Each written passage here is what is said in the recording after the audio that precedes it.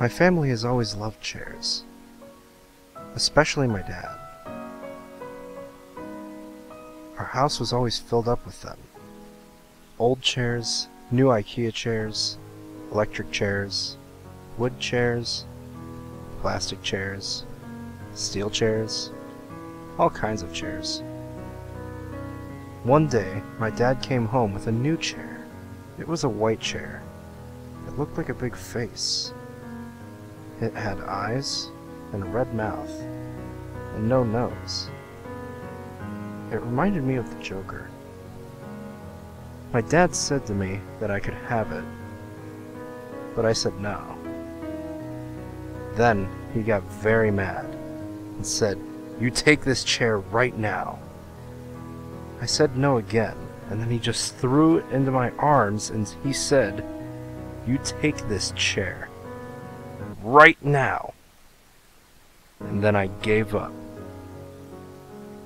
When I got to my room, I just sat it in front of my TV and I decided to play some Call of Duty. But as soon as I sat down, I felt like a dog had just bit my ass off.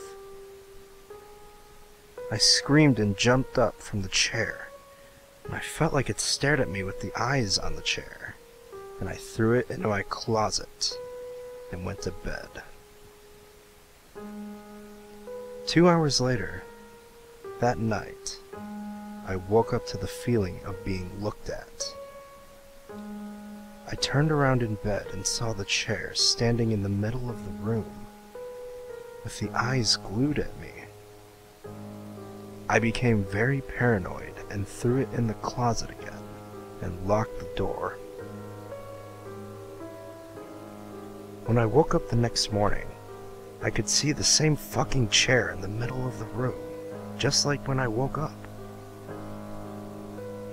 I took the chair and rushed downstairs down to our basement, took my dad's axe and smashed the chair into a thousand pieces and burned it outside on our fireplace.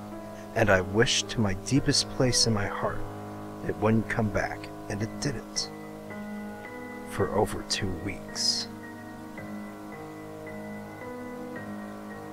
But one night, I just wanted to play some Terraria on my PS4, so I sat down on my chair, and five minutes after, I could feel the same pain as two weeks earlier, and I could hear a very high-pitched laughter.